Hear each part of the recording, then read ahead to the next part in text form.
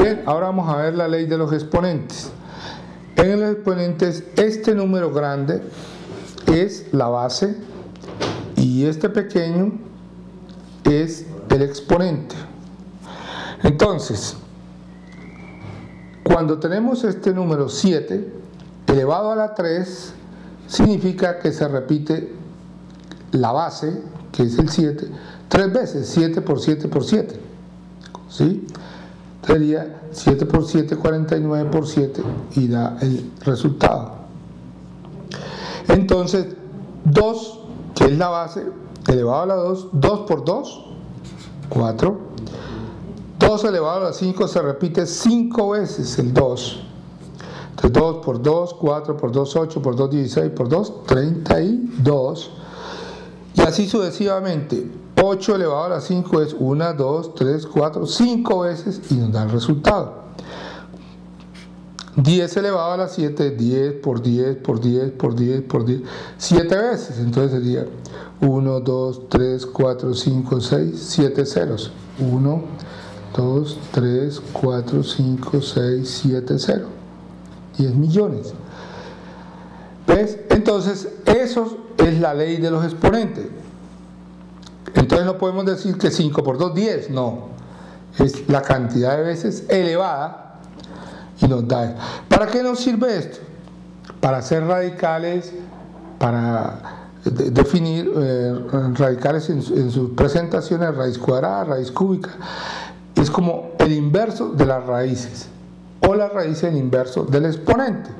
Entonces, siempre el, el, en los exponentes va a haber una base, En álgebra ya ustedes van a ver, por decir algo, la letra A elevado a la 7. Entonces, esta sigue siendo la base. Este sigue siendo el exponente. Entonces, siempre va a ser esa la figura. El exponente el número pequeño y la base el número grande. En este caso, repito, por decir algo, 20, el número grande, elevado a la 5, entonces se repite 5 veces el número 20 multiplicado. Eh, 548 elevado a la 6, entonces se repite 6 veces este número multiplicado. 5 por 48, 548 por 548 por 6 veces se repite. Bien, entonces, como después de esto, vamos a ver radicales, esto prácticamente está en las calculadoras. Todo esto va al taller de calculadora. Luego que termine de hacer esto, nos ponemos a hacer el taller de calculadora porque no vale la pena ponernos a hacer esto manualmente. Hoy en día el que se ponga a hacer esto pierde su tiempo porque el mundo es tan veloz que las exigencias todos son a calculadoras. Y entonces vamos a hacer esto como los radicales en calculadora. Entonces, el tema siguiente son los radicales. Vamos a hacer raíz cuadrada.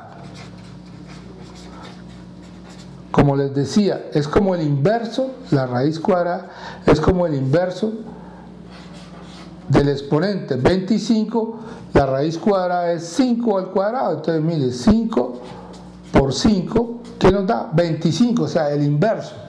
Entonces, al sacar la raíz cuadrada de 25 nos va a dar su inverso. Bien, entonces, luego seguimos con el tema de raíz cuadrada.